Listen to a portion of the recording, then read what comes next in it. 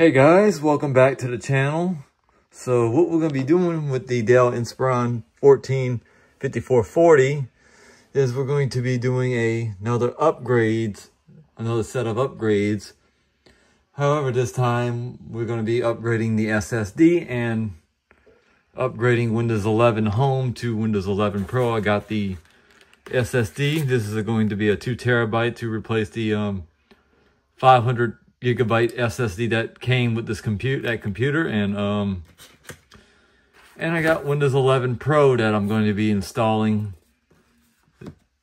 so I could be able to have more features for Windows 11 when I need to use this computer for certain things but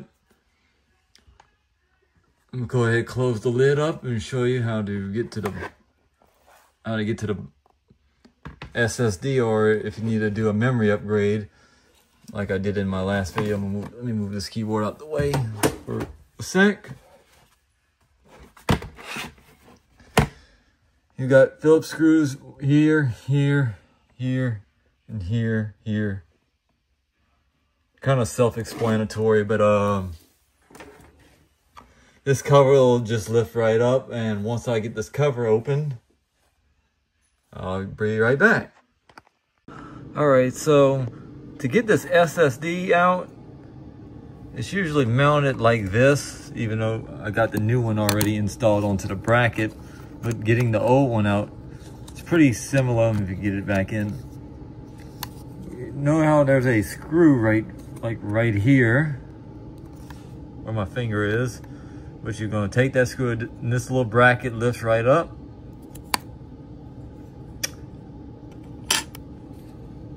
And then just simply pull out. I didn't do it, put it all the way in. This is the old one right here. And you're gonna have, there's gonna be a little screw right here that's supposed to secure the little SSD in place. So I'm gonna go ahead and fully reassemble all this and get it all connected up and I'll see you on the OS install. Since I got everything back together, and I got the Windows 11 flash drive inserted. So what we're going to be doing is we're going to be doing the Windows 11 install as a part of the bonus of the video.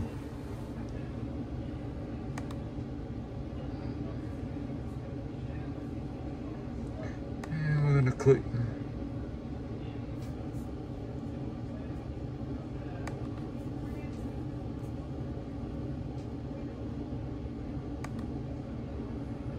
and it's gonna um, install Windows 11.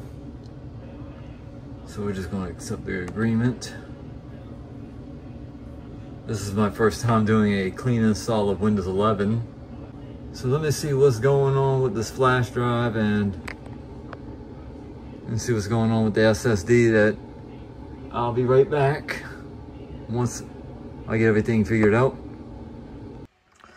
All right, I went into BIOS to take care of a little small issue with the uh, SSD not showing up. So I, when I had put the when I unhooked the battery, it kind of reset everything in the BIOS. So I had to go into the settings to see why it's not showing my SSD. So it's now showing the SSD with one little simple fix in the BIOS. And now we're making progress. So once I get to the Windows 11 desktop, I'll be right back once we get to the Windows 11 desktop. Several moments later, I got Windows 11 successfully installed on that new 2 terabyte SSD and I'm to show you the 2 terabyte SSD if I can open up this PC real quick.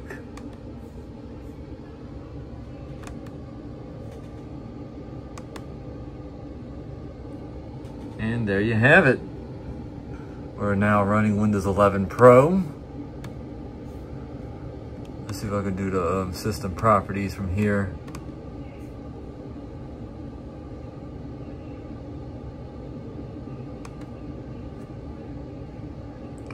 Even though I'm gonna have to edit this video because it's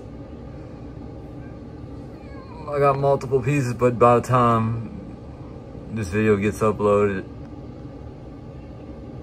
I'll have it all out take off the way and and um hope you guys enjoyed this little video and thanks for watching and I'll have an update coming for it at some point in the future.